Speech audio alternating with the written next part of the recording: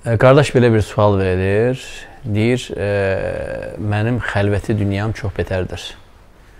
Xəlvəti dünyamda günahlar davamlıdır və çox çirkin, fahiş günahlardır. E, amma cəmaat içində məscidə gələn, namaz qılan, e, oruçdan, hətta nafilə tutan e, bir qardaşam. Mən münafiqəm mən, belə bir sual verir. Bismillah, elhamdülillah və salatu və selamu ala Rasulillahi və ala alihi və sahbihi ecma'in. Rabbin Subhanahu ve Teala ve sari'u ila mağfiratin min rabbikum ve cennetin arduha semavatu vel ard uiddet lil muttaqin buyurur. Deyir, eni yerlər və göylər qədər nəhəng olan bir cənnət Allah'ın rizası ve cenneti için yarışın.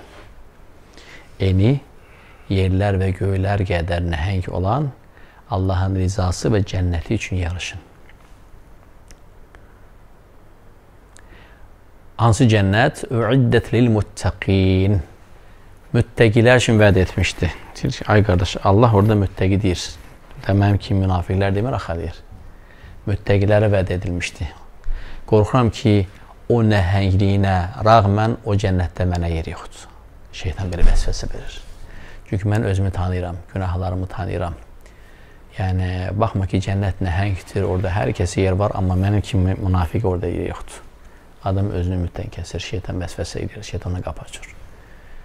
Əl-ləzînə yunfiqûne fis-sarrâi vəl-darrâi vəl-kâzimînə l-gayzə vəl-âfînə anin-nâsi vəllahu yuhibbul-muhsinin.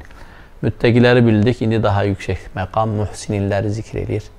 O kəslər ki, dar günündə də, rifah günündə də Allah yolunda xərcləyərlər malından.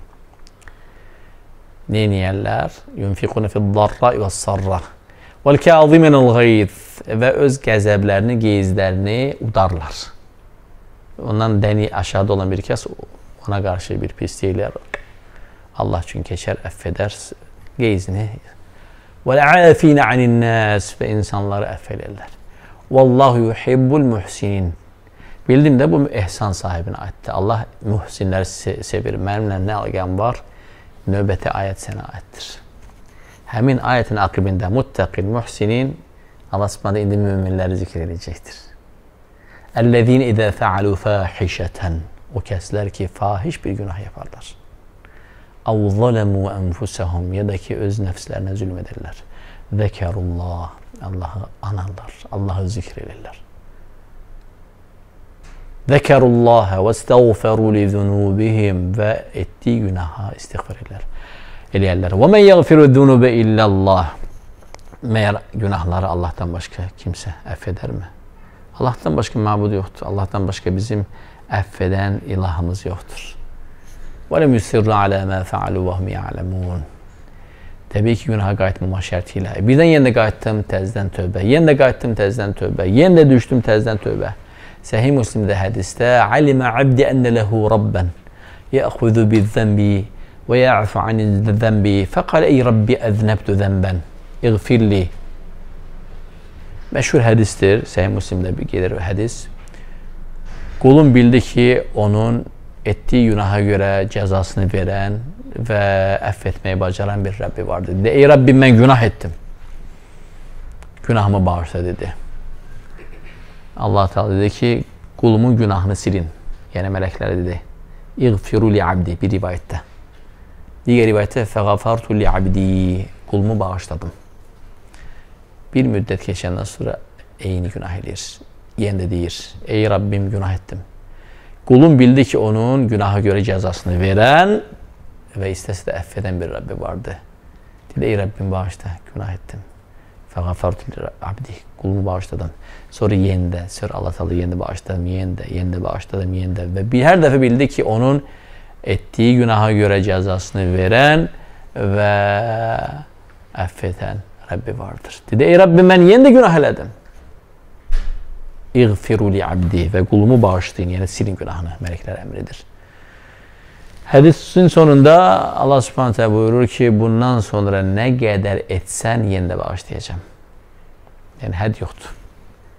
Hədisin mənası nədir? Yəni qul günaha düşməyini bilmir və günaha düşməməyinə əzm verir, söz verir və inanır ki, düşməyəcək. Amma Allah Teala hər şey əzəldən bilir. Qul sadiq olduqca tövbəsində nə qədər o günaha düşsə də, hər dəfə qayıtdıqca, hər dəfə sadiq olduqca Allah Subhanahu hər dəfə bağışlayacaqdır. Ona görə şeytanın sənin üzərindəki ən böyük qələbəsi Əl-əysu min rəhmətillə min rəhillə. Allah Subhanahu taalanın rəhmətinin ümidi kəsmə. Bu ən böyük qələbəsidir. Ümidini heç vaxt kəsmə. Heç vaxt, heç mi, heç vaxt. Yaddan çıxartma ki, Məlik ibn Dinarı Allah Subhanahu taala hardan hara qaldırdı. Hə, Fudayl ibn İyadı hardan hara gətirdi. Abdullah ibn Məlik, hə, Abdullah ibn Mübarək hardan hara gətirdi. Hə, İbrahim ibn Ədhəmi hardan hara gətirdi. Fəhum küfür və onlar çoxdular, onlar çoxdular. Onlar çoxdular.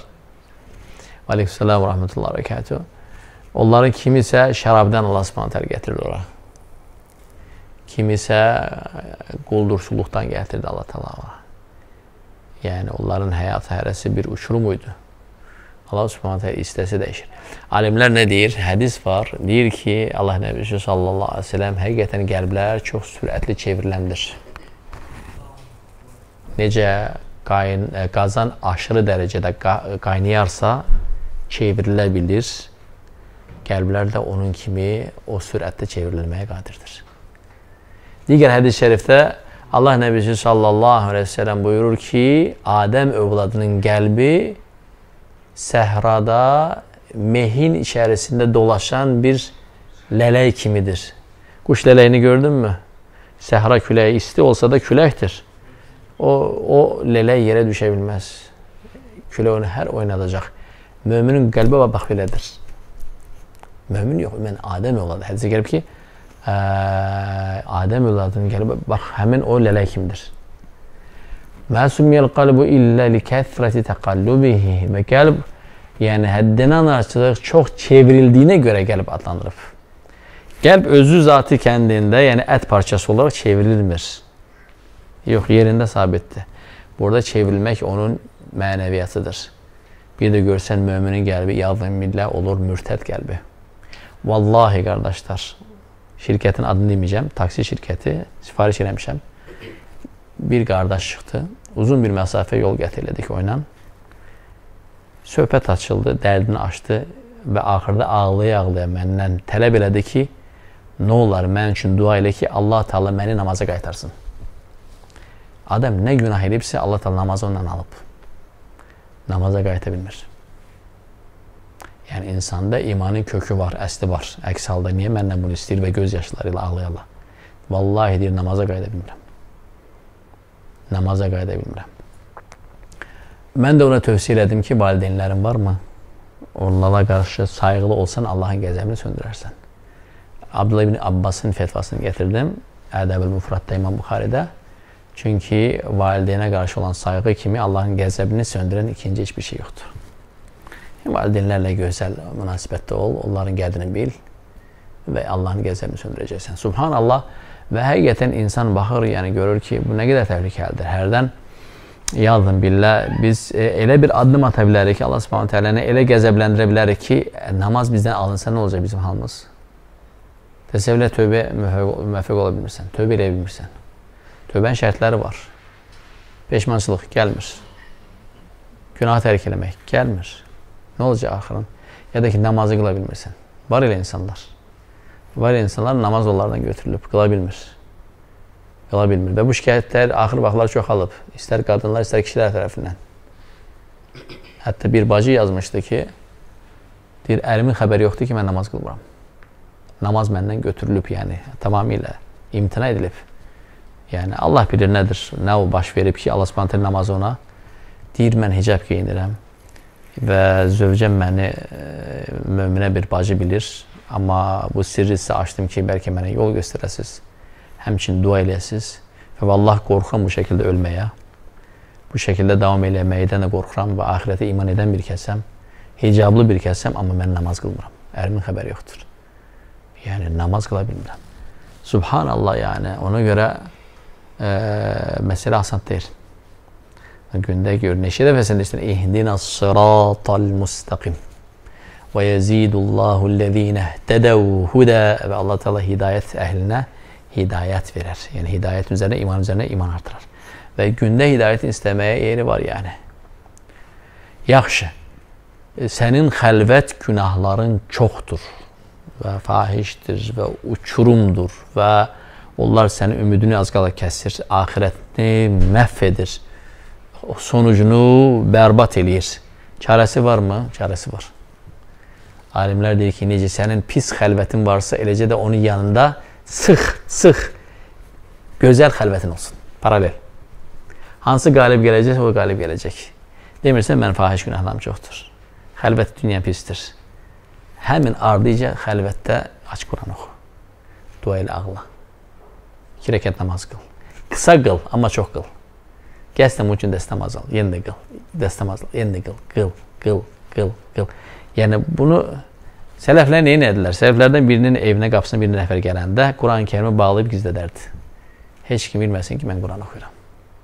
Əməlləri xəlvət idi. Əməlləri xəlvət idi. Allah Subhanahu eşitib faydalanlar etsin.